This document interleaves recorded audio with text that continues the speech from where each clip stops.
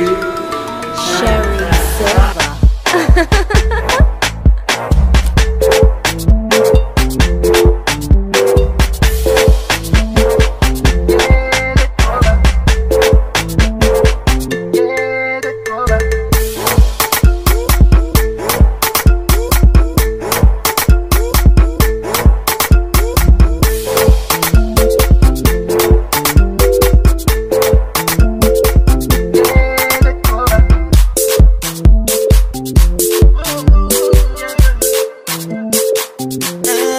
Baby, should